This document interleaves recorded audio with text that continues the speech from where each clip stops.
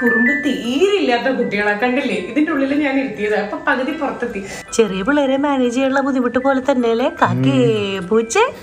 ഓ.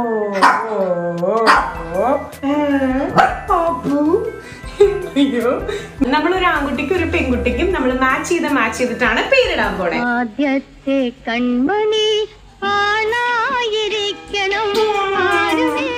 ഇത് ആൺകുട്ടിയാണോ നോക്കട്ടെ?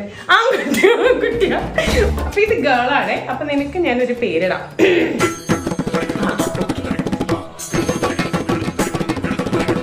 അബുന്റെ ഹസ്ബൻഡിനെ മാത്രം കണ്ടിട്ടുണ്ടാവില്ല. അത് ഇല്ലീഗലായിരുന്നു ഓക്കെ ഇത് ആരാണെന്ന് ഞാൻ നോക്കാം.